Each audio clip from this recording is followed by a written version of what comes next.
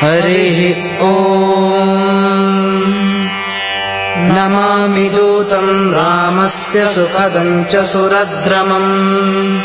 पीनवृत्तमहाबाहुम् सर्वशत्रुनिवारणम्। नानारत्नसमायुक्तकुण्डलादिविराजितम्। सर्वदाभीष्टदातारम् सताम् वै दृढमावहे वासिनम् चक्रतीर्थस्य दक्षिणस्थगिरौ सदा।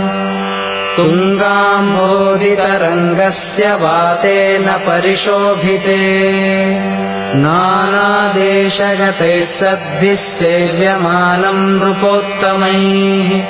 धूपदीपादिनैवेद्यैः पञ्चकाद्यैः स्वशक्तितः भजामि श्रीहनूमन्तम् हेमकान्तिसमप्रभम् व्यासतीर्थयतीन्द्रेण पूजितम् च विधानतः।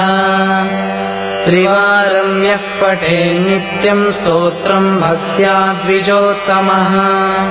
वाञ्छितम् लभतेऽभीष्टम् षण्मासाभ्यन्तरे खलु पुत्रार्थी लभते पुत्रम् यशोर्थी लभते यशः।